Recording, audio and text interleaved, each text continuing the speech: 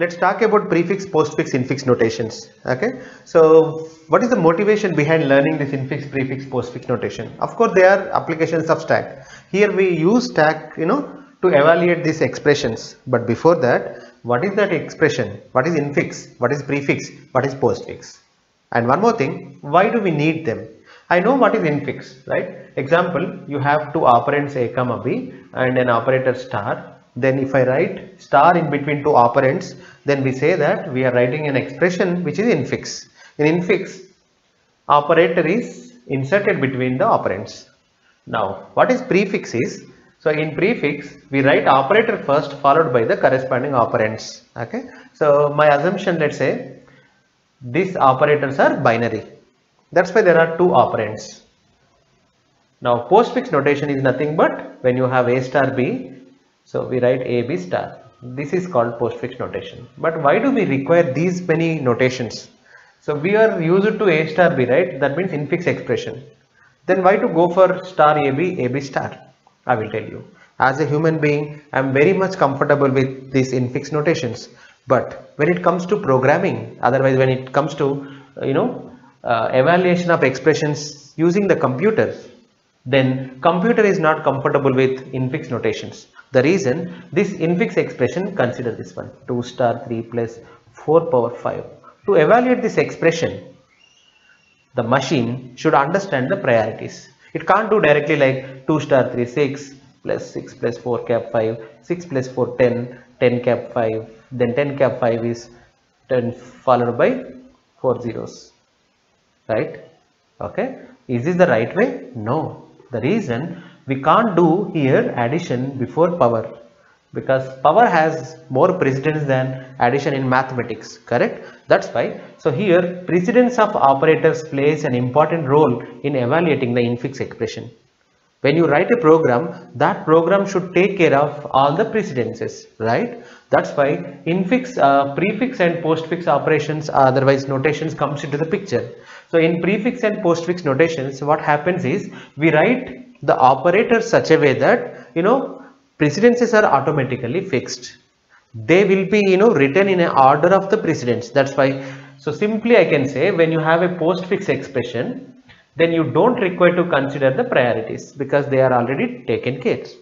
Okay? So that's why people generally prefer prefix and postfix while writing the expressions. There are applications. So as a human being you know i write infix expression but when it comes to computers, like example, let's say your compiler, your compiler is going to evaluate your program, right? When you write a C program, then compiler is going to convert into machine level at that time. So these infix expressions will be converted to probably prefix or postfix so that, you know, calculation or, you know, evaluation will be easy. Okay. So before going to much details, first we try to understand how to convert an expression to inf, uh, prefix and postfix. Let me begin with prefix then after that I will show you postfix. Remember these rules. First rule is whenever you want to convert one operator like example this is operator whenever you want to convert this operator star to prefix simply write star AB that means for this infix expression prefix expression is star AB. So whenever you want to convert star now example you have two expressions E1 and E2 whatever uh, big they are in between them you have again an operator and condition is you want to convert this operator into you know prefix then simply write star e1 e2 that's it. If you remember this then you can convert any big expression to prefix. One more important rule is if you have only one symbol like this and if someone asks you to convert this to prefix then rule is very simple. Answer is that symbol itself when you have simple one operand and its corresponding prefix is a okay? Let's remember that. Using these three rules i'm going to convert now one very big expression to prefix. Let me take this one. 2 plus 3 star 4 okay? There are two operators plus and star. How to convert this expression to prefix? Rule number one.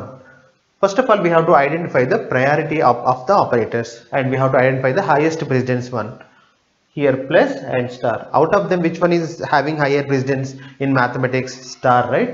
Then first target this operator and we have to convert that to prefix okay? Then it will become 2 plus. So 3 star 4 will become star 3 4.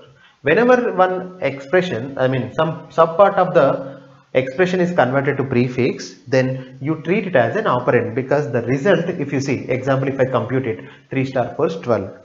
12 is going to be an operand of plus, right? That's why this entire, because we are not evaluating now.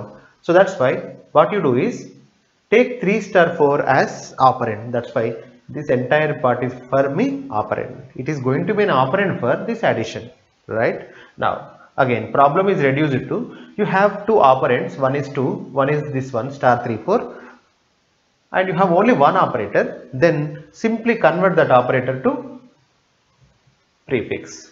That will become plus and operand number 1 2 operand 2 is star 3 4 that's it. So this is the prefix expression. Now by this time you should get the idea what is prefix conversion. Simple. In infix expression, identify all the operators and based on the priorities from the highest precedence to lowest precedence, we have to convert the uh, every operator into prefix. That's it. That's why first of all I have converted star to prefix. Then I have converted plus to prefix. That's it. So you know that when you have expression 1, expression 2 and plus in between then E1 plus E2 is nothing but plus E1 E2 isn't it? That's it.